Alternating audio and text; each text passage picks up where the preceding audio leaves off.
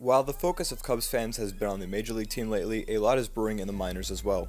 According to Fangraphs, the Cubs have the second most valuable farm system in baseball, and in the new MLB pipeline update, the Cubs have five top 100 prospects, with only Baltimore and Pittsburgh having more. It's an impressive farm considering the success of the major league team right now, and while I think most people would consider it a top 10 farm system rather than a top 2 farm like Fangraph says, it is certainly great to see a ranking be so high on it.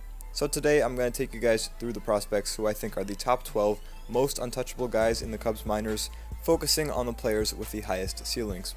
Now this is highly subjective, but basically these are 12 players who I feel the most need to highlight based on their potential, and you viewers can feel free to shout out the prospects who I don't cover in the comments below. There's bound to be quite a few as there's definitely more than 12 good prospects in this farm system, I don't want this to just be reading off the Cubs' top 12 prospects, and I do want to cover guys that I haven't talked about before, but also people watching this may not have seen the past videos or know much of anything about the farm right now, so I will cover players that have appeared in multiple videos in the past. Also, just a note, I don't consider any prospects truly 100% untouchable in trades.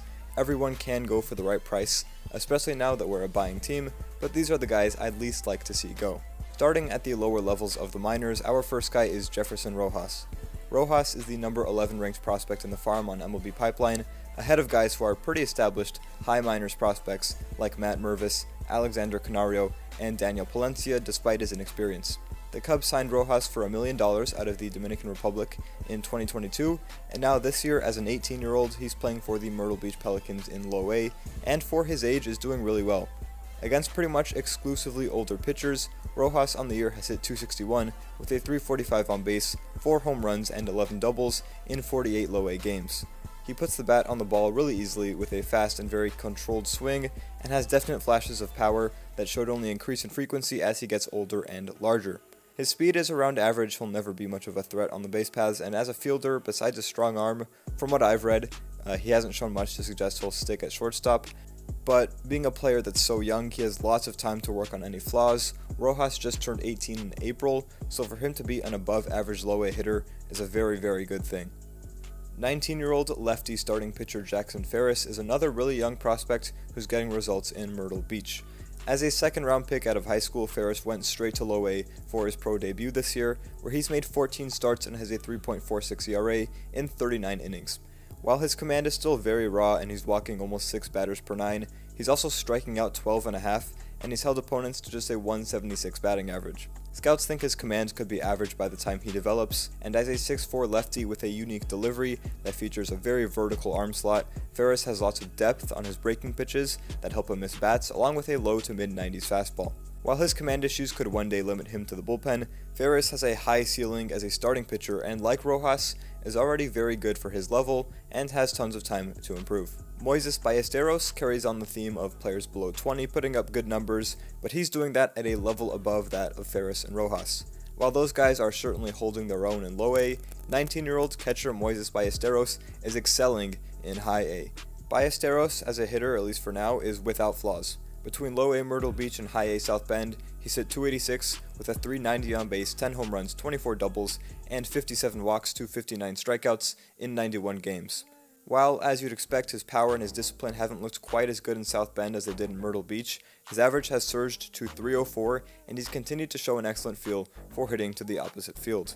Judging off both skill set and body type, an obvious comparison for Ballesteros is Alejandro Kirk, who is a legitimate starting catcher. Defensively, Ballesteros does leave a lot to be desired in terms of doing things that require mobility, like blocking and getting up quick to throw out runners, but like I keep saying, there's lots of time to figure it out, and his ability to hit does make up for a lot, even if he turns out to not be a full-time catcher. He's also 7 for 7 in stolen bases, not that he'll ever be some speed threat, but I just thought that was kind of funny. Matt Shaw was the Cubs' first round pick and the 13th overall pick in this year's draft.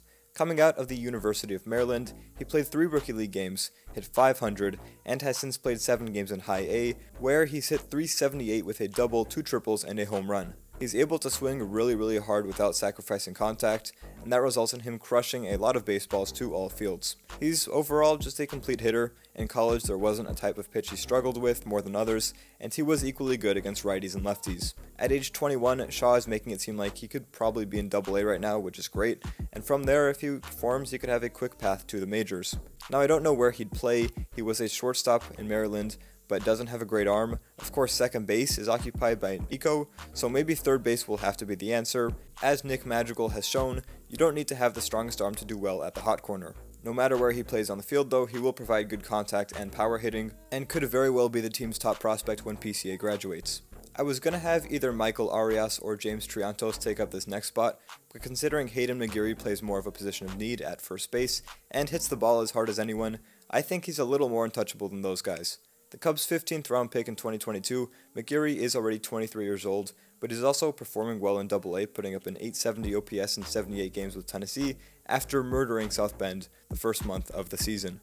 McGeary, along with putting up incredible exit velocities on par with the best power hitters in the game and a hard hit rate around 50%, has shown a great ability to draw walks as well, as he's drawn 65 in just 98 games and has a 418 on base percentage between high A and AA. Defensively, McGeary might not offer you much, he's at first base for a reason, but if he keeps hitting and maybe starts elevating the ball more for more home runs, then he could be a very legitimate candidate for the Cubs' first base spot in the near future. Kevin Alcantara, who was acquired for Anthony Rizzo in the 2021 trade deadline, is a player who shows up in all these videos. I even made one about him specifically, but his ceiling is so high that I just can't leave him out of a video about untouchable prospects. It's kind of been a tale of two seasons for Kevin this year. His first two months were terrible, but then in the past 90 days he's hit 307 with a 377 on base and a 497 slugging in high A. Alcantara is an uber athletic 6'6 outfielder who has above average speed and power for days. 48% of Alcantara's batted balls have been hit 95 miles per hour or harder, and it's showing in his high A stats as he has 20 doubles and 9 home runs in 78 games. Naturally, for a guy as tall and long as him, he has swing and miss issues, but as those begin to reflect in his numbers at higher levels in the minors, he should also be getting stronger and hitting more home runs and doubles. It'll be hard to get there, but the ceiling for Alcantara is pretty much an MVP caliber player. A lot has to go right, but he's shown the potential to do pretty much everything a major league superstar does, and he also does it with a lot of style. He's bound to be a fan favorite once he arrives. Though he's just a 21 year old in high A, Alcantara is on the Cubs 40 man roster, which means each year he's in the minors is an option year he burns, and those are, of course, limited, so the Cubs will have to pick up the pace in which they push him through the minors, maybe expect to see him in AA by season's end and AAA at some point next season. Yet another guy whose greatest asset is a propensity to smoke the ball, 21 year old outfielder Owen Caissie has not only been one of the best performers in the Cubs farm, but also in AA as a whole. In 92 games, Caissie, who was acquired in the Yu Darvish trade, has hit 292 with a 395 on base, a 553 slugging, 24 doubles, 21 home runs, and 74 RBI in 94 games. But something to keep in mind is that his strikeout rate is nearly 38%, which is massive and needs to come down if he's going to be successful. However, even if he strikes out at a well above average rate, as long as it's not crazy high like 38%, he crushes the ball enough to make up for it. A good sign is that he doesn't chase a lot, he just whiffs at pitches in the zone, so maybe as he gets more at bats he'll begin making more contact, we can only hope. Defensively, despite a good arm, his speed and overall fielding skills are below average, so he's not going to be the best outfielder and will likely be stuck in left field or at DH, but as long as he's hitting like he is now, that is not going to be an issue. Next up, we have 2021 first round pick Jordan Wicks, a 23 year old lefty starter who across Tennessee and Iowa has a 3.53 ERA over 19 starts. He's quite consistent, he's never perfect, but rarely gets blown up.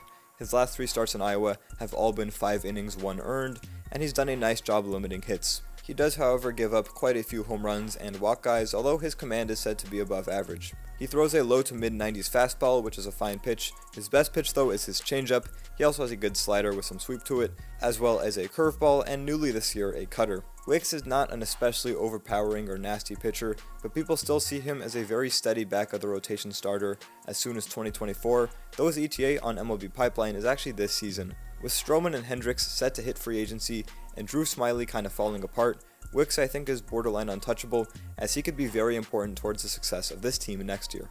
I think the exact same can be said for his Iowa teammate Ben Brown, who the Cubs got for David Robertson. Brown has a lot less command but has better stuff than Wicks. His fastball sits mid to high 90s and probably looks faster given he's 6'6 and releases it closer to the plate than most guys. He also throws a hard curveball that rarely gets hit and then a very hard low 90s slider. After dominating Tennessee, Brown was called up to Iowa and in 15 starts, he's posted a 4.85 ERA while striking out 12.5 per 9, but also walking 5.5. So yeah, Brown's issue has definitely been command, and if that persists, he might be more suited to a bullpen role in the future. However, if that does get sorted out, Brown could fill in as a starter next year. He hasn't pitched a whole lot in the minors thanks to injuries, so it is possible that his command will improve as he gains experience.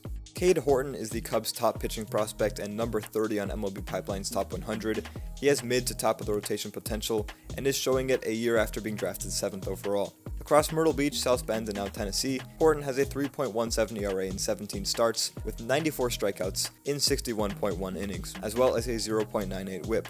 His fastball has averaged 95 to 97 miles per hour with movement. He also has a great slider, as well as a mid 80s curveball that has been successful this year, and a high 80s changeup that is still developing, but has been useful against lefties. Horton turns 22 very soon, and although he doesn't have a super long track record of pitching at a high level, he'd actually never been that good up until about a month before his selection in the draft. He should still see the majors in the next couple years, and is a guy who could be very valuable for this team. Before I get to the last guy, you definitely already know who it is. I'm just going to drop some names as honorable mentions. Michael Arias, James Triantos, Daniel Palencia, Matt Mervis, Alexander Canario. There you go. These guys would have been the next on this list if there weren't players who I thought had either slightly higher upside or play positions of need, which made them more untouchable. I still would rather not trade any of these guys, but there's players in the farm who I think have higher ceilings, or that I just honestly wanted to talk about more.